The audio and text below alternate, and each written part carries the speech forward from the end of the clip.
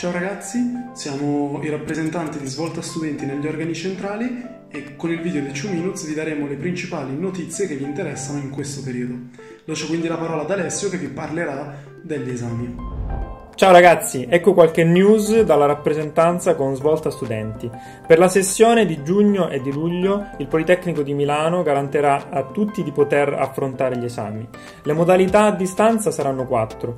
La prima è una consegna di un elaborato o di un progetto. La seconda è una prova orale. La terza invece è una modalità eh, che riguarda una risposta aperta o risposta multipla su determinate software.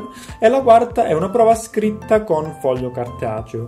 Tutte Tutte e quattro le modalità sono state analizzate dai docenti del Politecnico di Milano che in questi giorni stanno facendo formazione perché ovviamente anche loro non avevano mai affrontato una sessione d'esame a distanza ed è stato chiesto a tutti i docenti di comunicare in modo puntuale le modalità d'esame entro il 18. Quindi presto noi sapremo in modo preciso e dettagliato come affronteremo gli esami della nostra sessione.